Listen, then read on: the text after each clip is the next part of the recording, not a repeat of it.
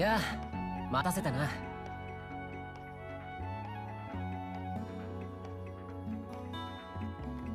レインとのデュエル。これが俺が一番やりたかったことさ。キリト君これは俺の予想だけど君は強い。それこそ友人将軍やスメラギ以上に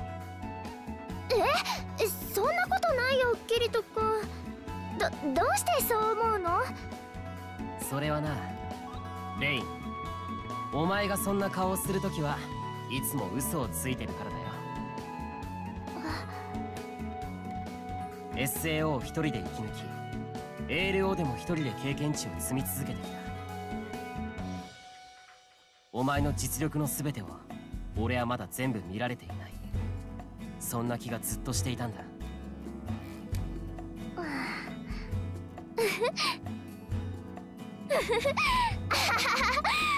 キリト君の察しの良さにはもうかなわないな。その推理もズバリ。大当たり。お前ってやつはさ。でもねこれ以上はもう私に隠し事は何もないよ。全部出し尽くしちゃったからねそうか。いやいや面白いね。君といると本当に面白いよ。VR 世界が輝いて見えるよ。それは俺も同じだよ。じゃあいいか？お前の真の実力見せてもらうぞよし来たデュエル申請全損決着モードだ。それでいいな。もちろん。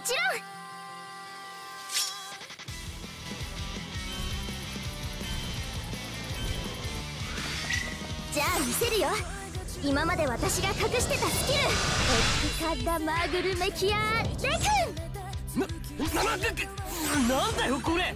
ルール違反じゃないか 二刀流のキリト君には言われたくないな。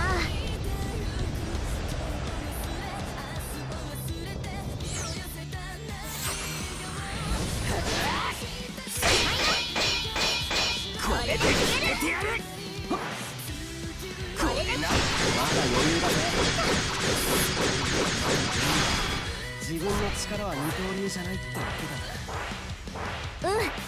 私は例えるなら多刀流だよ。無数の剣を空間の狭間に隠し私の意志で自由に召喚できるんだ。本来は釜の中に複数の剣を同時に投入するための家事用の魔法なの。この魔法を使えば私の手から離れた状態でも遠隔操作することができる。それでこの魔法の熟練度をカンストさせて戦闘に応用したんだ。しかもこの剣は全部エンシェントウェポン級なんだ。どれもこれも一筋縄ではいかないよ。そしてこの剣たちが雨のように相手に降り注ぐ。それが私のスキル。サウザンドレインだよ。とんでもない切り札を持ってたんだレイン。SAO と ALO の覇者に言われるとは光栄だねでも面白いぜお前がスバルトの真のラスボスだ。どこからでもかかってきなよお前めちゃくちゃ強いなそういうキリト君こそ何なのこの強さ。レールを始めた時期は一緒のはずなのにこの強さ。おかしくないか。それはこっちのセリフだよ。天才っているんだな。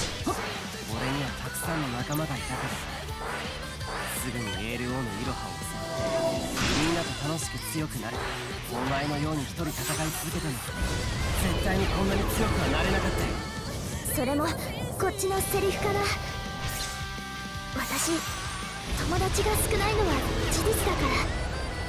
SAO で2年間現実から離れていて。しかもアイドルまがいのバイトとかやって。そういう人ってやっぱりはぶられるんだよね。そしたらむしろ一人で遊ぶことの方がなんだか楽になってきちゃってね。仲間がいることにありがたみを見出せなくなっちゃったんだ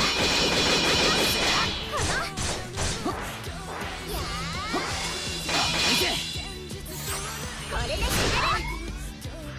これで決めてやる。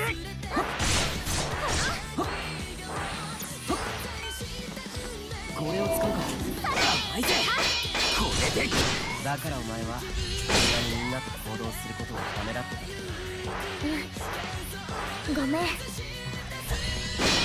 今のも初耳だぞ。お前は本当に嘘つきレインだなこれくらいの強さを見せつければ普通にシャムロックに入れただろう。なんかね目立つことがとても怖くてそれに私やっぱりキリト君の言うように誰かと友達になりたかったのかも仲間を作って一緒にこの ALO の世界を楽しみたかったのかもしれないそうか。やっと本当のことを言ってくれたな。うん。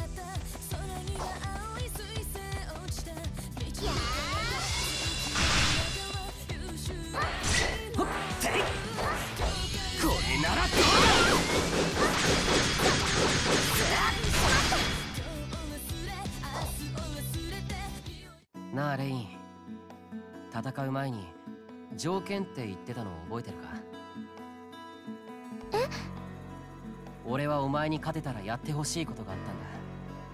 それは言うまでもないんだけど。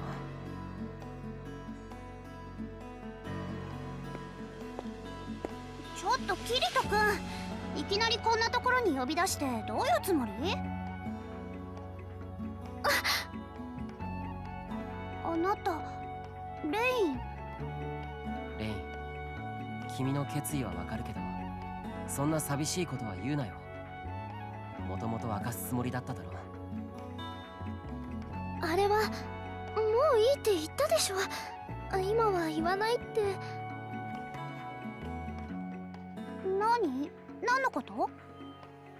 これは君たちの問題だから俺が介入するのは筋違いかもしれない。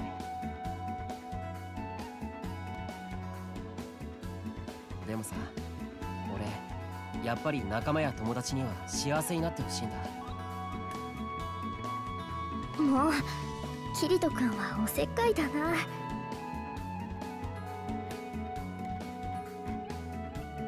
でもうん分かったよ。それが条件だったんだもんね。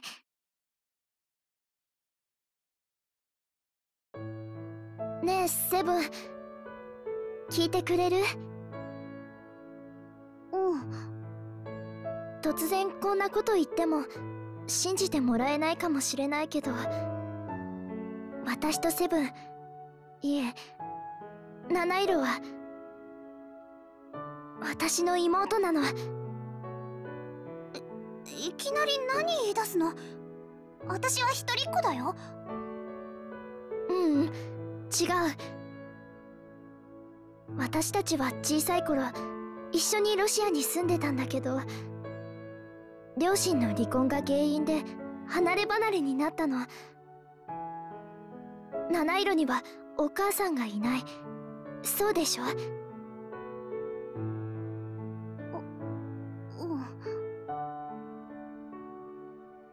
お父さんに引き取られた七色はアメリカへ。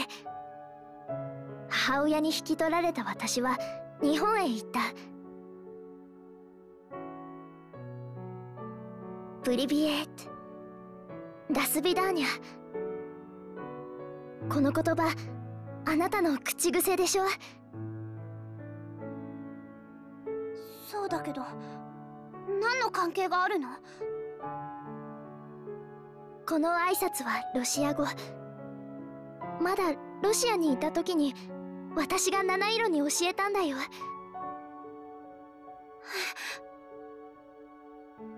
七色はまだ小さかったから覚えてないと思うけど。覚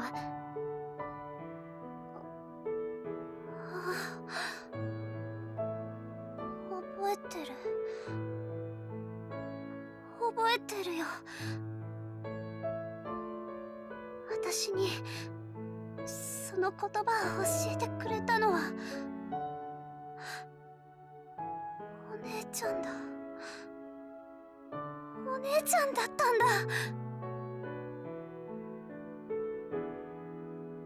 れが誰だったのかはずっとわからなかったけど今ようやく思い出せた。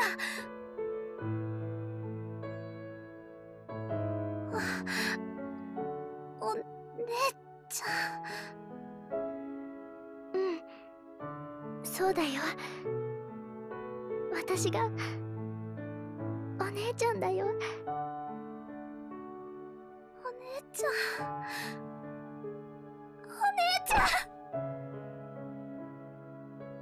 よかった。やっと会えたね。私の名前はからたちにじか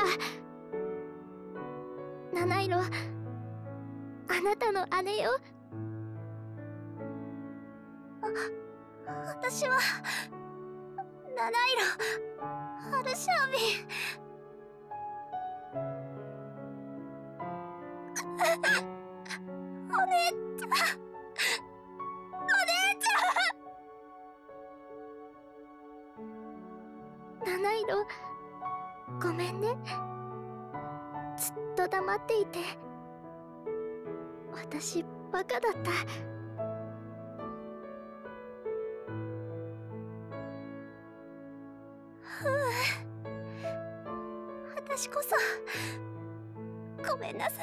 そっか。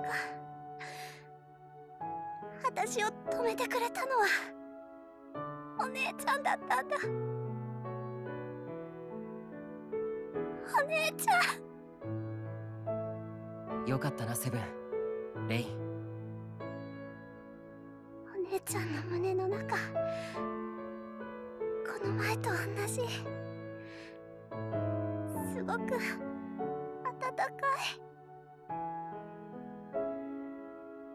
このぬくもりは姉妹の心が通じ合ってるっていう証拠なのかもね。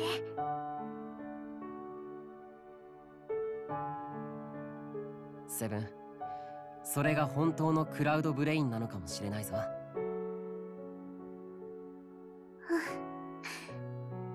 そうだね。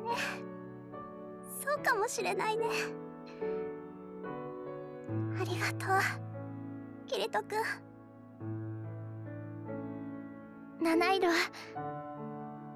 アメリカに必ず会いに行くから。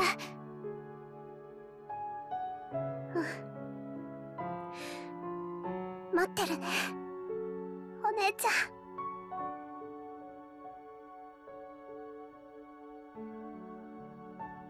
ん。なあレイン。お前はこれから夢を追って生きていくんだろうけど。その気が向いたらまた ALO に顔を出せよ。たまにでいいからさ。いいのかな？こんな嘘だらけの私がキリト君たちの仲間でいても。当たり前だろ。わ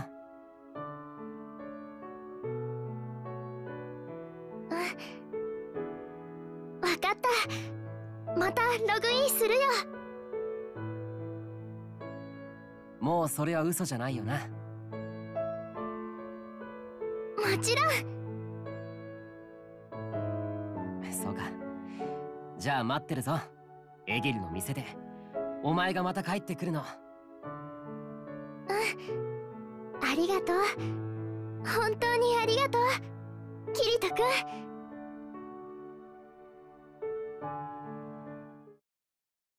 こうして二人の歌姫たちをめぐる俺たちの戦いは幕を下ろした。とはいえスバルとアルブヘイムにはまだ遊べる要素は山のように存在していたのでいつものように俺たちは毎日 ALO にログインしてはこの光と闇の世界スバルトエリアを満喫している。やはり難易度に問題があったようでたびたび運営側によるメンテナンスは行われているのだが。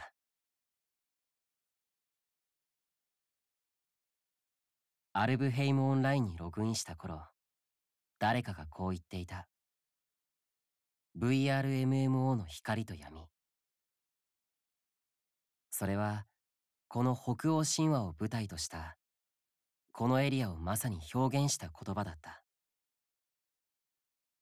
スバルト・アールブヘイム。光と闇のフィールド。SAO とは比べ物にならないほど純粋にゲームを楽しめた世界。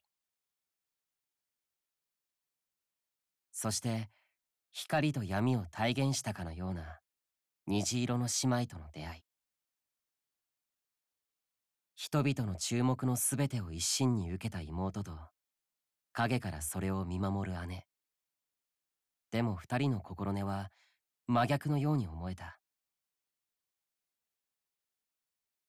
確かに SAO の苦しみや悲しみは俺の人生に大きな転機をもたらした。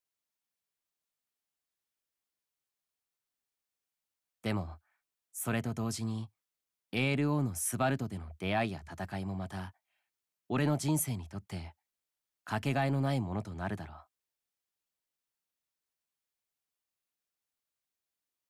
千の剣を持った姉は光を目指して去ってしまったけれど俺はまた彼女とここで会えると信じている。その隣には闇に落ちかけた小さなそれでいて屈託なく笑うよく似た妹がきっと踊るように飛んでいるに違いない。そして二人の光と闇の歌を俺たちにまた聞かせてくれるに違いない。俺はそう思っている。ソードアートオンラインロストソング。